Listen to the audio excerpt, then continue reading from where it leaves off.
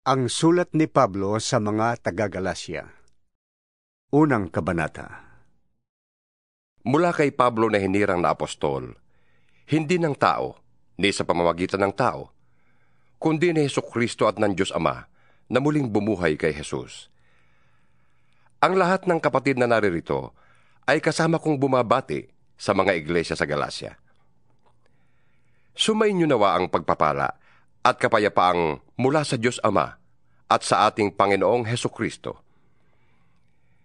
Inialay ni Heso Kristo ang kanyang buhay dahil sa ating kasalanan, ayon sa kalooban ng ating Diyos Ama, upang mahango tayo sa kasamaang nagahari ngayon sa sanlibutan ito. Purihin ng Diyos magpakailanman. Amen. Nagtataka ako kung bakit kay dali ninyong tinalikuran ng Diyos na tumawag sa inyo sa pamamagitan ng habag ni Kristo. At kayo'y bumaling agad sa ibang magandang balita. Ang totoo'y wala namang ibang magandang balita. Kaya nga lamang, may mga nanggugulo sa inyo at nagsisikap na baguhin ang magandang balita ni Kristo. Sino man, maging kami, o isang anghel mula sa langit, ang mangaral sa inyo ng magandang balita na iba sa ipinangaral namin sa inyo, parusahan siya ng Diyos Sinabi na namin ito sa inyo at inuulit ko ngayon. Kung may mangaral sa inyo ng magandang balita na naiiba kaysa tinanggap na ninyo, parusahan siya ng Diyos. Bakit ko sinasabi ito? Dahil ba sa ibig kong mapuri ng tao? Hindi. Ang papuri lamang ng Diyos ang tangi kong hangad. Sinisikap ko bang magbigay lugod sa tao? Hindi. Kung yan lamang ang talagang hangad ko, hindi na sana akong naging alipin ni Kristo. Ibig kong malaman ninyo mga kapatid, na ang magandang balitang ipinangaral ko'y hindi katha ng tao. Hindi ko ito tinanggap mula sa tao. At hindi rin itinuro sa akin ng sino mang tao. Si Heso Kristo mismo ang naghayag nito sa akin. Hindi kaila sa inyo kung paano akong namuhay noon bilang masugid na kaanib ng relihiyon ng mga Hudyo Walang awa kung inusig ang iglesia ng Diyos at sinikap na ito'y wasakin. Ako'y naging masugid sa relihiyong yon nang higit sa maraming hudyong kasing edad ko. Dahil sa malaking malasakit ko sa kaugalian ng aming mga ninuno. Ngunit sa kagandahang loob ng Diyos, minabuti niyang ako'y piliin bago pa ako ipanganak. At tinawag niya ako upang maging lingkod niya at nang ihayag sa akin ang kanyang anak, upang maipangaral ko siya sa mga hintil. Hindi ako humingi ng payo kanino man. Ni hindi rin ako nagpunta sa Jerusalem upang makipagkita sa mga apostol na nauna sa akin. Kundi sa halip, nagpunta ako sa Arabia. At pagkatapos, ay bumalik ako sa Damasco. Pagkaraan ng tatlong taon, pumunta ako sa Jerusalem upang makipag-usap kay Pedro at labing limang araw kaming nagkasama. Wala akong nakitang iba pang apostol maliban kay Santiago na kapatid ng Panginoon. Totoong lahat ang isinusulat ko sa inyo. Alam ng Diyos na hindi ako nagsisinungaling. Pagkatapos, pumunta ako sa mga lalawigan ng Syria at ng Cilicia. Hindi pa ako kilala noon ng mga Kristiyano sa Judea. Nakarating lamang sa kanila ang ganitong balita. Ang dating umuusig sa atin ay nangangaral na ngayon ng pananampalatayang dati sinikap niyang wasakin. Kaya't nagpuri sila sa Diyos dahil sa akin. Ikalawang Kabanata Makalipas ng labing apat na taon, muli akong pumunta sa Jerusalem na kasama sina Bernabe at Tito. Bumalik ako sapagkat inihayag sa akin ng Diyos na dapat akong pumunta doon. Nakipagpulong ako ng sarili na sa mga kinikilalang pinuno ng iglesia. At inilahad ko sa kanila ang magandang balitang ipinapangaral ko sa mga hintil. Ginawa ko ito dahil ayokong mawala ng kabuluhan ang aking ginawa at ginagawa pa. Ang kasama kong si Tito, kahit na siya'y isang Griego, ay hindi nila pinilit na patuli. Kahit may ilang nagkukunwaring mananampalataya na nagtangkan yun. Nakihalubilo sila sa amin upang manmana ng kalayaang taglay natin kay Kristo Jesus. upang kami muli nilang maalipin.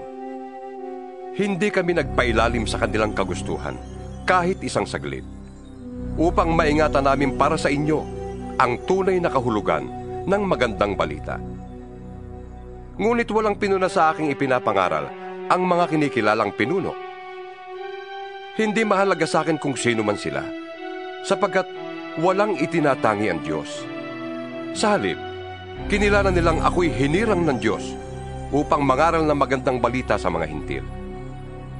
Tulad ni Pedro, na hinirang naman upang mangaral ng magandang balita sa mga Hudyo.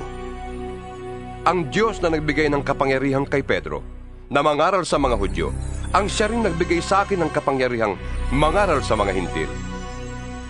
Nakita ni na Santiago, Pedro at Juan, mga kinikilalang haligi ng iglesia, na ako'y talagang binigyan ng tanging kaloob na ito. Kaya't tinanggap nila kami ni Bernabe bilang mga kamanggagawa. Pinagkasunduan namin na kami sa mga hintil mga ngaral at sila namay sa mga Hudyo.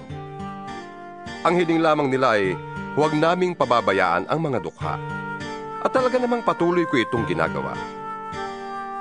Nang si Pedro ay nasa Antioquia, harapan kong sinabi sa kanya na mali ang kanyang ginagawa. Bago dumating ang ilang sugo ni Santiago, siya ay nakikisalo sa mga hintil. Subalit nang dumating na ang mga yon, lumayo na siya at hindi na nakisalo sa mga hintil dahil sa takot niya sa pangkat ng mga Hudyo. At gumaya naman sa kanyang ibang mga kapatid doon na mga Hudyo. Pati si Bernabe ay natangay ng kanilang pagkukunwari. Nang makita kong hindi ayon sa tunay na diwa ng magandang balita ang kanilang ikinikilos, sinabi ko kay Pedro sa harap nilang lahat, Kung ikaw na isang Hudyo ay namumuhay na parang hintil at di bilang Hudyo, bakit mo ngayon pinipilit ang mga hintil na mamuhay na gaya ng mga Hudyo? Kami ipinanganak na Hudyo at hindi makasalanang hintil. Alam naming ang tao'y pinawawalang sala dahil sa pananampalataya kay Heso Kristo at hindi dahil sa pagsunod sa kautusan. Kaya't kami man ay sumasampalataya kay Kristo Jesus upang mapawalang sala sa pamamagitan ng pananampalataya sa Kanya at hindi sa pamamagitan ng pagsunod sa kautusan. Sapagkat ang tao'y hindi pinawawalang sala dahil sa pagsunod sa kautusan Ngunit, kung kaming nagsisikap na mapawalang sala sa pamamagitan ni Kristo, ay matagpo ang makasalanan pa. Nangangahulugan bang si Kristo ay tagapagtaguyod ng kasalanan? Hindi maaari yan. Sapagkat kung itatayo kong muli ang winasa ko na, ipinapakita kong makasalanan nga ako. Ako'y namatay na sa kautusan, sa pamamagitan na rin ng kautusan upang ngayon mabuhay para sa Diyos namatay na akong kasama ni Kristo sa krus. Hindi na akong nabubuhay ngayon, kundi si Kristo na ang nabubuhay sa akin. At habang ako'y nabubuhay pa sa katawang lupa, namumuhay ako sa pananalig sa anak ng Diyos na umibig sa akin at naghandog ng kanyang buhay para sa akin. Hindi ko maaaring tanggihan ang kagandahang loob ng Diyos kung ang tao ay mapapawalang sala sa pamamagitan ng kautusan, walang kabuluhan ang pagkamatay ni Kristo. Ikatlong Kabanata Mga hangal kayong mga taga-Galasya. Sino ang nakagayuma sa inyo? Maliwanag na ipinahayag na sa inyo kung paano namatay si Yeso Kristo sa krus. Sabihin nga ninyo, tinanggap ba ninyong espiritu sa pamamagitan ng mga gawa ayon sa kautusan? o sa pamamagitan ng inyong pananalig sa inyong narinig tungkol kay Kristo. Talagang napakahangal ninyo. Nagsimula na kayo sa Espiritu at ngayon ibig pa ninyong magtapos sa pamamagitan ng inyong sariling lakas. Wala na bang halaga sa inyong maraming bagay na pinagtiisan ninyo?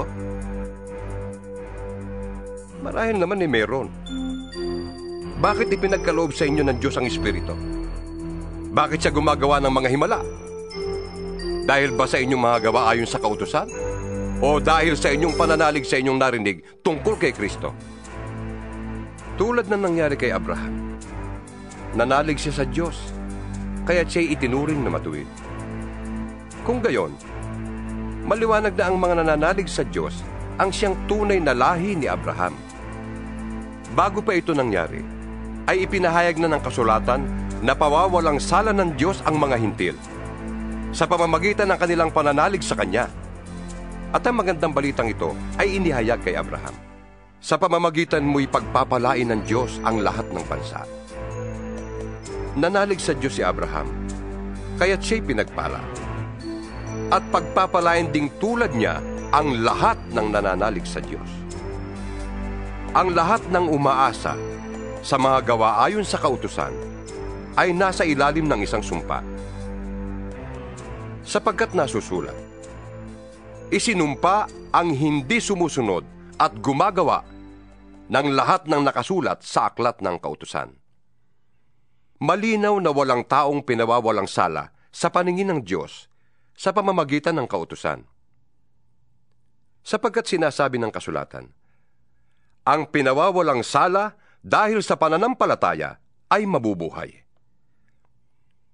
Ang kautusan ay hindi nagmumula sa pananalig sa Diyos, sapagkat sinasabi ng kasulatan, ang tumutupad sa lahat ng hinihingi ng kautusan ang mabubuhay sa pamamagitan ng mga ito. Tinubos tayo ni Kristo sa sumpa ng kautusan nang siya ay isinumpa para sa atin. Sapagkat nasusulat, sinumpa ang bawat ibinitin sa punong kahoy. Ginawa ito ni Kristo upang ang mga pagpapalang ipinangako ng Diyos kay Abraham ay makamtan din ng mga hintil sa pamamagitan ni Kristo Jesus. At sa pamamagitan ng pananalig sa Kanya, ay matanggap natin ang Espiritong ipinangako ng Diyos. Mga kapatid, narito ang isang pangkaraniwang halimbawa. Kapag nalagdaan na ang isang kasunduan, hindi na ito mapapawalang kabuluhan ni Numan. Hindi rin ito maaaring dagdagan. Ngayon, nangako ang Diyos kay Abraham at sa kanyang supling hindi sinasabi, at sa kanyang mga supling, na ang tinutukoy ay marami kundi at sa iyong supling na iisa ang tinutukoy at ito'y si Kristo. Ito ang ibig kong sabihin. Pinagtibay ng Diyos ang kanyang kasunduan at ipinangako niyang tutuparin ito. Ang kasunduang yun ay di mapapawalang saysay ng kautusan na dumating pagkaraan ng apat na raan at tatlumpung taon ni hindi rin mapapawalang saysay ng kautosang ito ang mga pangako ng Diyos. Kung ang pamana ay ipinagkakaloob dahil sa kautusan, hindi na ito dahil sa pangako. Ngunit ang pamana ay ibinigay ng Diyos kay Abraham bilang katuparan ng kanyang pangako. Kung ganon, bakit pa ibinigay ang kautusan?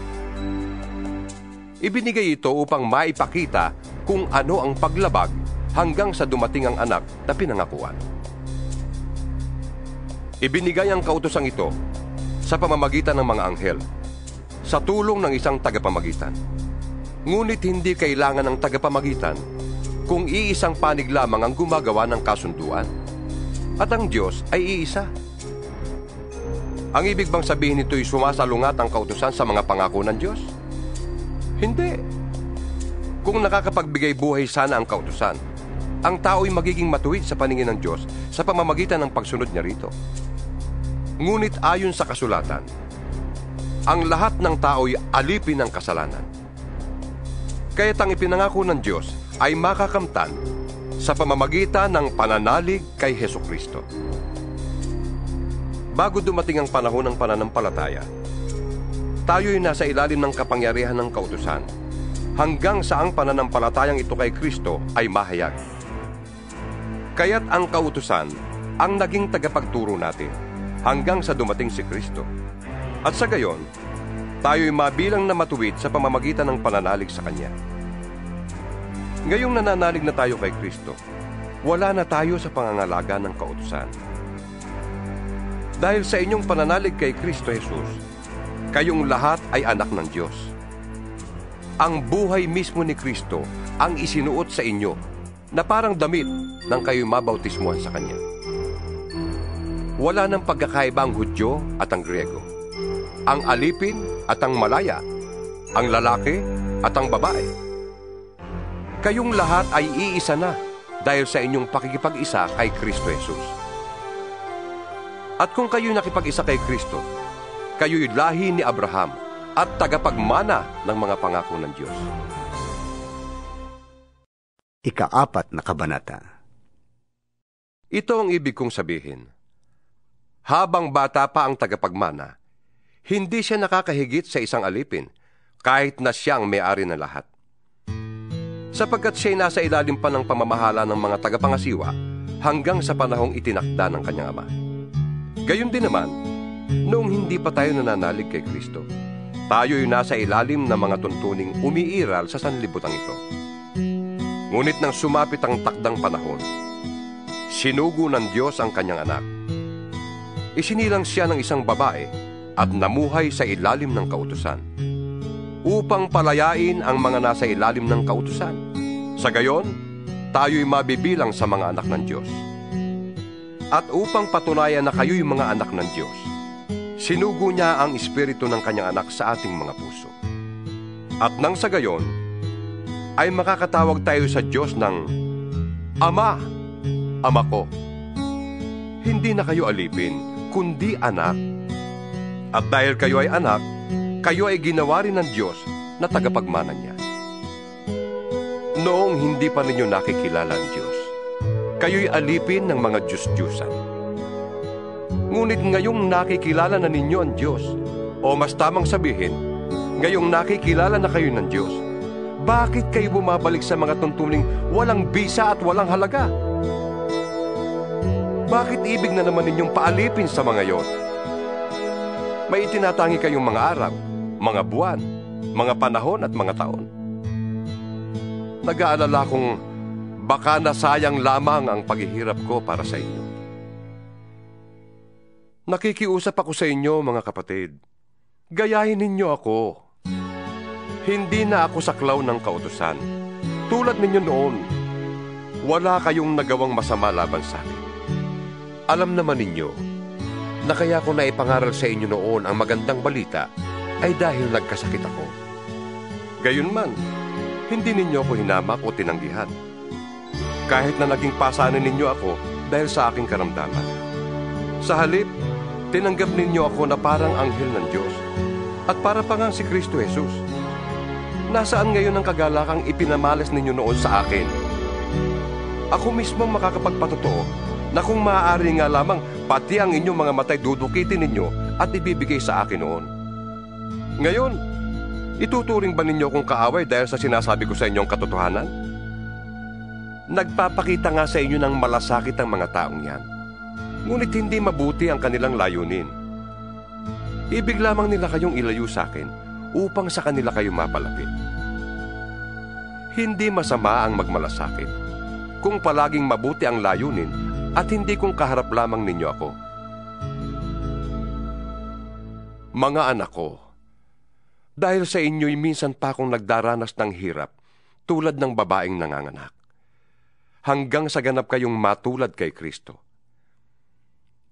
Sana'y kasama ko kayo ngayon upang maiba ang tono ng aking pagsasalita, sapagkat nag-aalala ako tungkol sa inyo. Sabihin nga ninyo sa akin, kayong nagnanasang pailalim sa kautusan. Hindi ba ninyo napapakinggan ang sinasabi sa kautusan? Sinasabi roon na si Abraham ay nagkaanak ng dalawang lalaki. Isa sa alipin at isa sa malaya. Ang anak niya sa alipin ay ipinanganak sa karaniwang paraan. Ngunit, ang anak niya sa malaya ay katuparan ng pangako ng Diyos. Ito isang paghahambing. Ang dalawang babae ay larawan ng dalawang kasunduan. Ang isa ay ang tipan sa bundok ng Sinai na kinakatawan ni Agar at ng kanyang mga anak na pawang mga alipin. Si Agar ay kumakatawan sa bundok ng Sinai na nasa Arabia at larawan ng kasalukuyang Jerusalem na nasa pagkaalipin kasama ng kanyang mga mamamayan. Ngunit ang Jerusalem na nasa langit ay malaya at siya ang ating ina. Ayon sa nasusulat, Magsaya ka o babaeng hindi magkaanak. Humiyaw ka sa galak. Ikaw na din nakaranas ng hirap sa panganganak. Sapagkat higit na marami ang anak ng babaeng nangungulila kaysa babaeng may asawa. Mga kapatid, tulad ni Isaac, tayo'y mga anak ayon sa pangako. Kung noong una, ang ipinanganak ayon sa Espiritu ay inuusig ng ipinanganak ayon sa karaniwang paraan, gayon din naman ngayon. Ngunit ganito ang sinasabi ng kasulatan. Palayasin mo ang babaeng alipin at ang kanyang anak. Sapagkat ang anak ng alipin ay hindi dapat makahati sa mana ng anak ng malaya. Kaya nga, mga kapatid, hindi tayo anak ng alipin, kundi ng malaya. Ikalimang kabanata. Malaya na tayo dahil pinalaya tayo ni Kristo. Kaya magpakatatag kayo at huwag nang paalipin pang muli. Akong si Pablo ang nagsasabi sa inyo. Kapag nagpatuloy kayo, binabaliwala ninyo si Kristo. Inuulit ko, ang lahat ng taong nagpatuli ay kailangang sumunod sa buong kautusan. Kayong nagsisikap na maging matuwid sa pamamagitan ng pagtupad sa kautusan nahiwalay na kayo kay Kristo at nawalay sa habag ng Diyos. Ngunit kami umaasa na kami magiging matuwid sa pamamagitan ng pananampalataya at ito'y sa kapangyarihan ng Espiritu Santo. Sa mga nakipag-isa na kay Kristo Jesus, hindi na mahalaga kung ang isang tao ay tuli o hindi. Ang mahalagay ang pananampalatayang nakikita sa mga gawang udyok ng pag-ibig mabuti na sana ang inyong ginagawa. Sinong pumigil sa inyong pagsunod sa katotohanan? Hindi yang gagawin ng Diyos na tumawag sa inyo. Wika nga, napapaalsa ng kaunting libadura ang buong masa ng harina. Nagtitiwala ako na sasang-ayon kayo sa akin sa bagay na ito dahil sa ating kaugnayan sa Panginoon. At natitiyak kong parurusahan ng Diyos ang sino mang nanggugulo sa inyo, kung sino man siya. Mga kapatid, kung talagang nangangaral pa ako na kailangan ng pagtutuli, bakit pa ako inuusig hanggang ngayon? Kung iyo'y totoo, hindi na sana nila ikinagagalit ang aking pangangaral tungkol sa pagkamatay ni Kristo sa krus. Sana'y ang mga nanggugulo sa inyo ay hindi lang magpatuli, kundi tuluyan ng magpaputol. Mga kapatid, tinawag kayo upang maging malaya. Ngunit huwag naman ninyong gamitin ang inyong kalayaan upang masunod ang hilig ng laman. Kundi, maglingkod kayo sa isa't isa sa diwa ng pag-ibig. Sapagkat ang buong kautusan ay nauuwi sa isang pangungusap. Ibigin mo ang iyong kapwa gaya ng iyong sarili. Ngunit kung kayo'y nagkakagatan at nagsasakmalang parang mga hayop, mauubos kayo. Sinasabi ko sa inyo, ang Espiritu ang gawin ninyong patnubay sa inyong buhay at hindi kayo magiging alipin ng hilig ng laman. Sapagkat ang mga hilig ng laman ay laban sa kalooban ng Espiritu at ang kalooban ng Espiritu ay laban sa mga hilig ng laman. Laging naglalaban ng dalawang ito, kung kaya hindi ninyo magawa ang ibig ninyong gawin. Kung pinapatnubayan kayo ng Espiritu, wala na kayo sa ilalim ng kautusan. Hindi maikakaila ang mga gawa ng laman.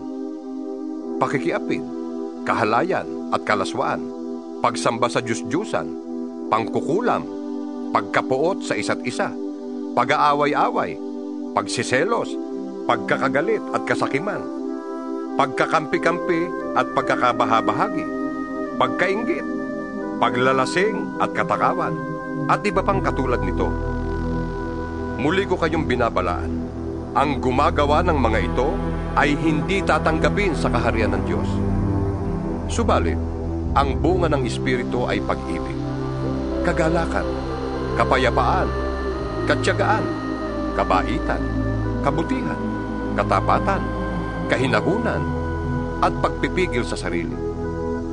Walang batas laban sa mga ito Pinatay na ng mga nakipag-isa kay Kristo Jesus ang kanilang makalamang pagkatao. Pati na ang mga masasamang hilig nito. Kung ang Espiritu ang nagbibigay buhay sa atin, siya na rin ang paghariin natin sa ating buhay. huwag na tayong maging palalo. Huwag na nating galitin ang isa't isa at huwag na rin tayong mag-inggitan. Ika-anim na kabanata. Mga kapatid, kung may mahulog sa pagkakasala, kayong pinapatnubayan ng Espiritu ang magtuwid sa Kanya. Gawin ninyo yon ng mahinahon. At mag-ingat kayo, baka kayo naman ang matukso. Magtulungan kayo sa pagdadala ng pasanin. Sa gayong paraan, ay matutupad ninyo ang utos ni Kristo. Kung inaakala ninyong kayo'y nakakahigit sa iba, ngunit hindi naman, dinadaya ninyo ang inyong sarili. Suriin ng bawat isa ang kanyang sarili.